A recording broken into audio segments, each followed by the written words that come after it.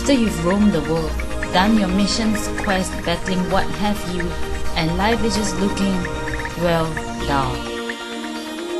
You'd like to know about the one man who has started a new revolution, one that could change life forever. One man who found that rivers, lakes, and ponds are not just for staring at. The one man who taught us to fish. I got to Tia a year ago, and what he taught me changed my life. He taught me the ropes on baits and hooks, taught me the patience to wait for the bite, and finally to reel my catches in. I've never done anything else since then. I fish all day, I fish all night. I've given up my day job just because this is so darn addictive.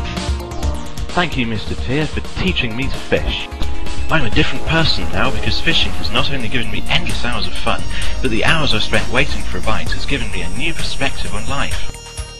While I was once a Kurzick killing machine, I've since given up my old ways and begun work to reconcile the conflict by taking up the task of being an ambassador in their third world country. I've led several teams into the Echovald forest to sweep up dead leaves and colour their trees in happy colours.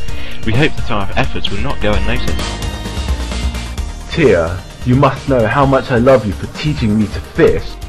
Four months ago, my wife was just about to leave me because I used to be an avid troll farmer, and she said I never did anything with her. Despite the lavish gifts I used to shower her with, like troll skin, troll meat and troll claw, but since Tia gave me a new pastime, I shower her with fish now. Trout, salmon, sardines. She says fish makes better gifts than troll products, and has since returned to me. Our marriage has found new life. If you would like your life turned around as it has for others, call now. Dial 1 800 We Love Tia or visit the website tierrocks.com. Make that difference today.